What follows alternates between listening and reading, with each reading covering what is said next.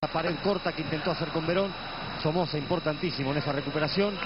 Y Silva, que hace que todo estudiante sospeche que va a rematar el arco. Y de golpe, ahí va el pase. Perfectamente habilitado. La mano no cuenta. ¿eh? Perfectamente habilitado. Y la definición excelente de Mouche. Una muy buena...